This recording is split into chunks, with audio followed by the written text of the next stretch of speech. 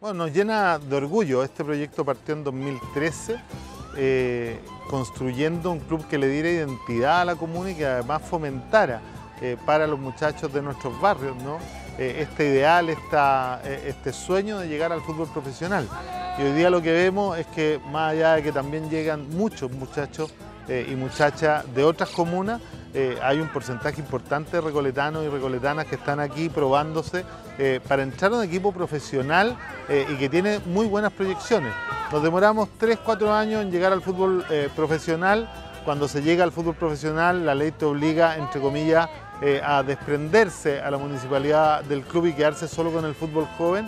pero esto ha sido un proceso maravilloso que esperamos en pocos años más ver a Deportes Recoleta eh, en, la Copa Libertadores o en algún torneo internacional de la mano de precisamente estos jóvenes. Han llegado más de 3.000 jóvenes en dos días eh, y esto habla eh, de la importancia que tiene, de la proyección que tiene y del orgullo y las expectativas que genera en el mundo los jóvenes.